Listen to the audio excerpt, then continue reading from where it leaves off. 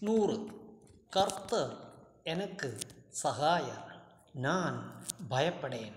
மனுஷன் எனக்கு என்ன செய்வான் எபிரேயர் பதிமூணு ஆறு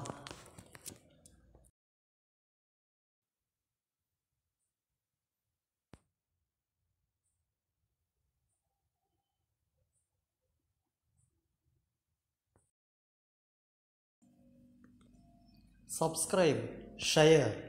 like